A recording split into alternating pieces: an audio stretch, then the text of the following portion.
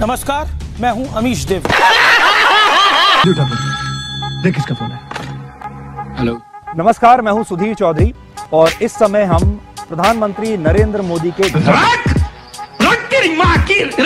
नमस्कार दोस्तों Punjab today TV पर आपका स्वागत है जहाँ आपको गोदी मीडिया का सच दिखाया जाता है। आज इस वीडियो में हम देखेंगे दिल्ली के सीएम अरविंद केजरीवाल के कुछ सैवेज लम्हे।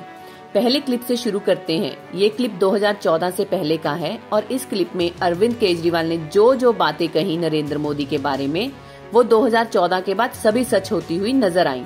आप भी ये देखकर हैरान हो जाएँगे, एक एक केजरीवाल की कही बात कैसे सच साबित हुई। अगर मोदी जी प्रधानमंत्री बन गए, सारे लोगों की आपका भी सर घर का खर्चा चलना मुश्किल हो जाएगा। मैं, मुझे पता है एबीपी वाले आपको अच्छी तनख्वाह देते हैं, पर आपका भी घर का खर्चा चलना मुश्किल हो जाएगा अगर मोदी जी प्रधानमंत्री बन गए। आपकी गैस महँगी हो जाएगी, आपकी सीएनजी महँगी हो जाएगी, आपके खाने पीने की चीज़ें महँगी हो जाएगी, बिजली महँगी हो जाएगी, सब कुछ चार गुना हो जाएगा। मोदी जी के दामन पे गुजरात दंगों के छीटे हैं। मोदी जी का दामन गुजरात दंगों से रंगा हुआ है। तो एक साल पहले एक कॉन्स्पिरसी रची गई कि ये क्या करें? वो हट ही नहीं रहे, छीटे, हट ही नहीं रहे, छीटे, दस साल हो गए, फिर भी नहीं हट रहे। तो कुछ लोगों ने मिलकर कॉन्स्पिरसी की कि इनको विकास पुरुष प्रोजेक्ट किया जाए। ये दिखाया जाए कि इन्होंने गुजरात में बहुत विकास किया, गुजरात में बहुत विकास किया। चलो गुजरात में दंगे हो गए, गलती हो गई, उसको भूल जाओ। और फिर इनको एक साल तक विकास पुरुष विकास पुरुष विकास पुरुष, ये आ गए तो भारत बदल देंगे, ये आ गए तो भारत बदल, ये बार बार प्रोजेक्ट किया गया। ये उसी का एक हिस्सा था, सर। उनके सांप्रदायिक चेहरे के ऊपर एक विकास का चेहरा लगाने का एक बहुत बड़ा षड्यंत्र रचा गया था।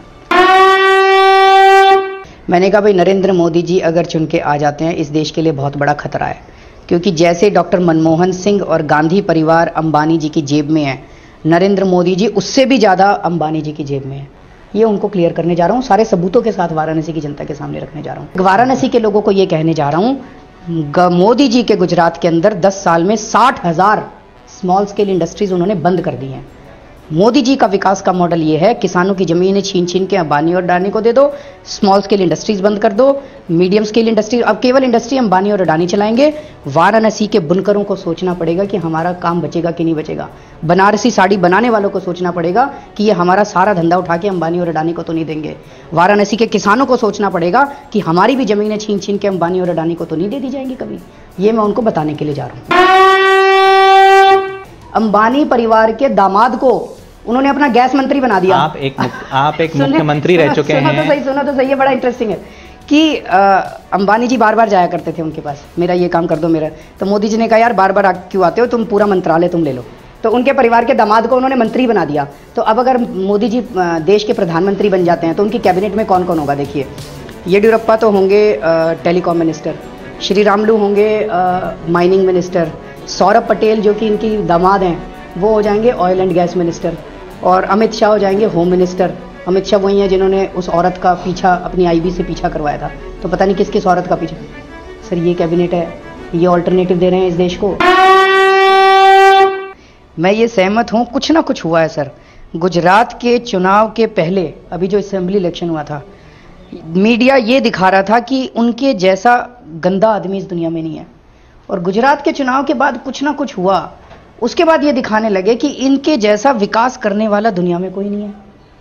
वो टर्निंग पॉइंट क्या था? आप खुद स्टोरीज उठा लीजिए मैं एक रिसर्च करके आपको भेज दूँगा कि कितनी नेगेटिव स्टोरीज गुजरात चुनाव के आपकी स्माइल भी बता रही है। एक टीवी चैनल के रिपोर्टर ने कानपुर की एक ट्रेन में घुसा और उस ट्रेन में घुस के एक आदमी से पूछा भाई किसको वोट दोगे? कहता जी नरेंद्र मोदी को। क्यों? कहता जी मैं किसान हूँ और मैं नरेंद्र मोदी जी किसानों के मसीहा हैं। तब मुझे लगा यार इस आदमी के साथ तो मीडिया ने बड़ा अन्याय किया। उस वो आदमी कभी गुजरात क्योंकि आ... अगर 800 किसानों ने गुजरात में आत्महत्या कर ली जी। किसानों की सब्सिडी बंद कर दी किसानों को अपनी फ़सलों के दाम नहीं मिल रहे किसानों की जमीनें छीन छीन के अगर अडानी और अंबानी को दे दी और वो भुखमरी के गगार पे आ गए ऐसा आदमी सर किसानों का मसीहा कैसे हो सकता है? मैं आपको बताता हूँ हम्म। छोटी सी चीज़। अभी ऐसा होता है मोदी जी अगर कोई गलती कर दें हम्म। मोदी जी की स्पीच तो छपती है फ्रंट पेज पे। जो कुछ वो बोलते हैं फ्रंट पेज पे और अगर वो कोई गलती कर दे तो छठे पेज पे इतनी सी छपती है कोई कहे भाई आपने नहीं कहा नहीं नहीं हमने छापी थी अगर कोई और नेता हो उसका करियर बर्बाद कर दोगे तीसरे दिन तक कहना चालू नेशन वांट्स टू नो कि इसको इस्तीफा देना चाहिए कि नहीं देना यानी चाहिए। आपने- सुनो तो। हाँ, मैं आपकी बात समझ गया। सुनो तो। चलिए, बोलिए। धूप गेट पे कोई और नेता होता उसका पूरा करियर बर्बाद कर दिया गया होता ऐसा हैमरिंग होती उसकी जैसे इसका सोमनाथ सोमनाथ भारती कहाँ हुई सर सोमनाथ भारती का जैसे किया। तीसरे दिन तक आते will Somnath Bharti resign today will Somnath Bharti resign today तो एक चलाते हैं will Narendra Modi resign today will Narendra Modi resign एक साल से इस देश के अंदर एक षड्यंत्र चल रहा है जिसमें मोदी जी को विकास पुरुष मोदी जी को विकास पुरुष ये नहीं दिखाया जा रहा कि किसानों ने आत्महत्या कर ली उन्होंने किसानों की जमीनें छीन ली छीन छीन के उन्होंने अंबानी और डानी को एक एक रुपए मीटर पे दे दी। ये कोई नहीं दिखाया जा रहा। अगले क्लिप में अरविंद केजरीवाल हमारे गुल्लू का चैनल न्यूज़ 18 की कैसे क्लास लगाते हैं वह देखने योग्य है। क्योंकि हम सबको पता है कि गोदी मीडिया का मालिक असल में कौन है जो इन सबको तनख्वाह देता है। आपसे पूछना चाहता हूँ। आपको कोई सबूत दिया उन्होंने? आप कौन से चैनल से मान लो ये कहा जाए कि न्यूज़ 18 का मालिक कौन है?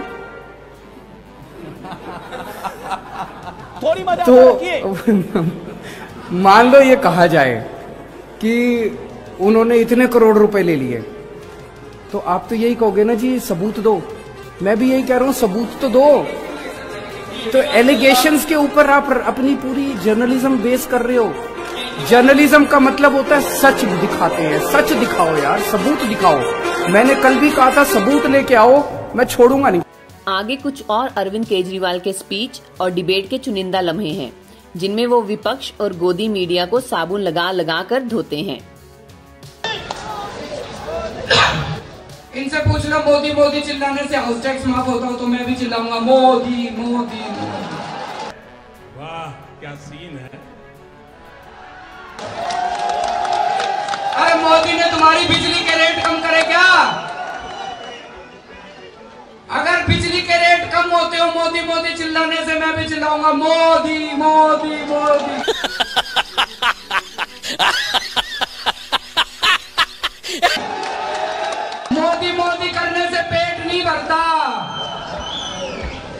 पागल हो रहे हैं थोड़े लोग। पागल हो रहे हैं थोड़े लोग।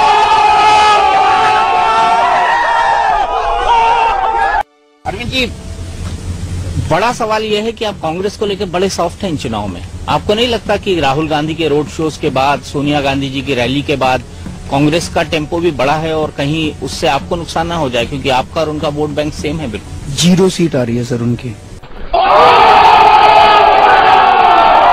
लिखवा लो मेरे से। लाइए लिख के देता हूँ। लिख के दीजिए। लिख के दीजिए आप। बिल्कुल लिख के दीजिए। और मैं दस तारीख को आपसे बात करूँगा। कांग्रेस की ज़ीरो सीट आ रही है। दस तारीख को मैं बात करूँगा। हाँ बिल्कुल बात करेंगे। नहीं मैं चाहूँगा कि ये सच हो ज़ीरो सीट आए उनकी आ रही है ज़ीरो सीट।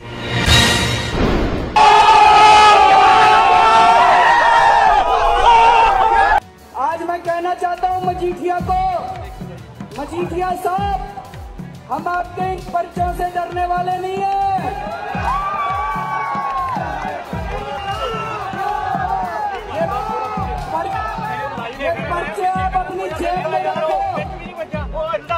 अगर मजीठिया में हिम्मत है, छह महीने रह उनकी सरकार अगर मजीठिया में हिम्मत है, छह महीने में मेरे को गिरफ़्तार कर ले। और नहीं तो छह महीने के बाद मैं मजीठिया को गिरफ़्तार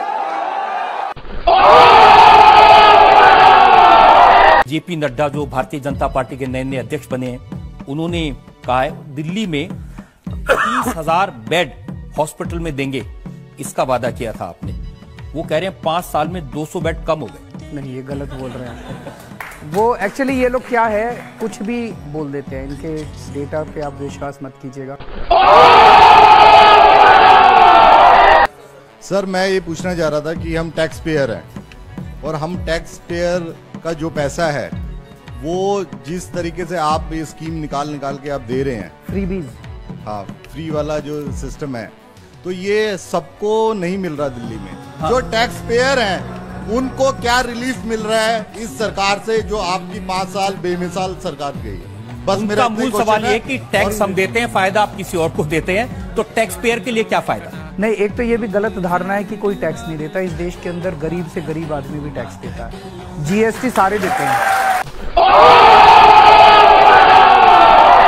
जैसे आपने 200 यूनिट फ्री का आपने सिस्टम बनाया है तो 200 कोई अगर किसी की 500 यूनिट यूज़ होती है तो उसको बिल में दिखना चाहिए कि 200 यूनिट आपका खत्म हो गया और 300 के आपको पैसे देने। ना पहली चीज़ 200 यूनिट सबके लिए फ्री है। सबकी फ्री है चाहे अमीर हो चाहे गरीब हो सबकी फ्री है। 200 यूनिट से ज़्यादा इस्तेमाल करोगे तो आपको फिर सारा लगेगा। तो इसके पीछे एक थोड़ा सी सोच ये भी थी कि लोग बिजली कम इस्तेमाल करें पावर कम इस्तेमाल करें। आपकी 250 आ रही है तो थोड़ी कोशिश करके आप 200 के नीचे ले आते हो ताकि पावर की सेविंग हो सके।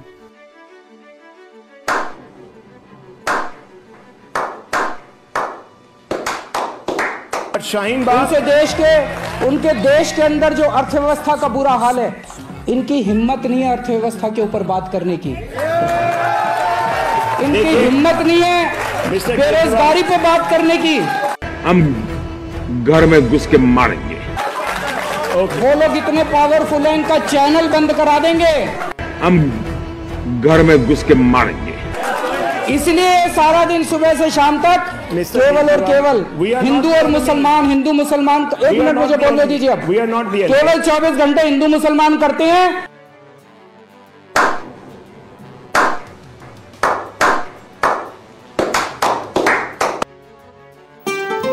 like our channel, please subscribe and to get notifications about news, please click the bell icon.